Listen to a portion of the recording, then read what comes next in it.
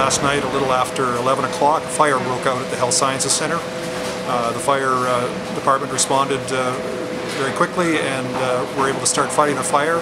But uh, because of the location of the fire, which, which was on a construction site immediately beside the Children's Hospital, and because of the risk of fire spreading and also uh, smoke that was beginning to filter into the health into the children's hospital, we made a decision to evacuate the children's hospital. That was a large undertaking, but our staff moved very professionally and very efficiently, and we were able to uh, evacuate uh, 92 patients uh, out of the uh, children's hospital to other places within the health sciences center in a matter of an hour and a half and, uh, and as well moved uh, 10 uh, patients from emergency, children's emergency over to the adult emergency side.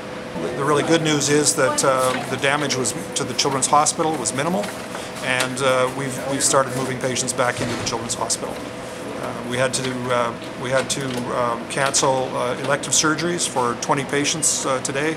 Those are being rescheduled uh, and hopefully will happen shortly. Um, and to date, that is the only um, the only service that we've had to reschedule.